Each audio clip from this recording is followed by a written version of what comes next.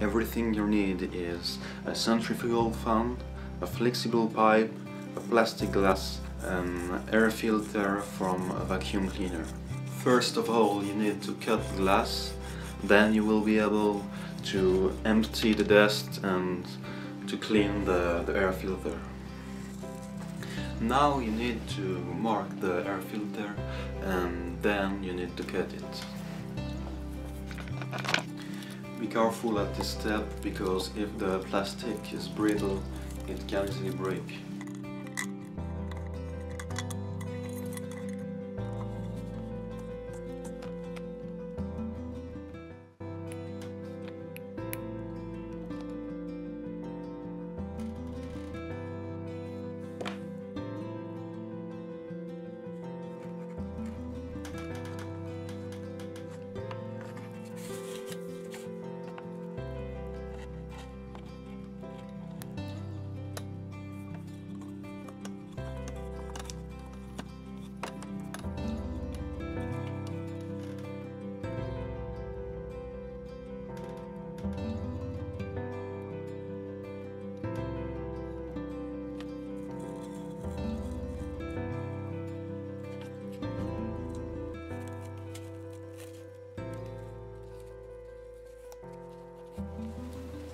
Then you need to seal it and you can power it with a 12 volt adapter.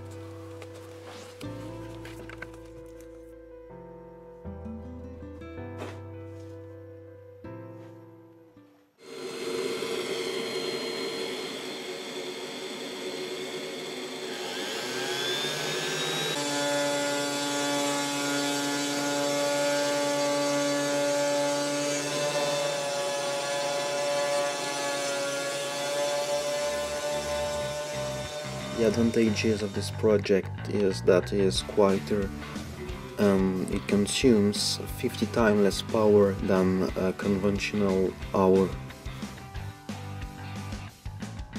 The disadvantage is that it is not really efficient and it still needs some improvement.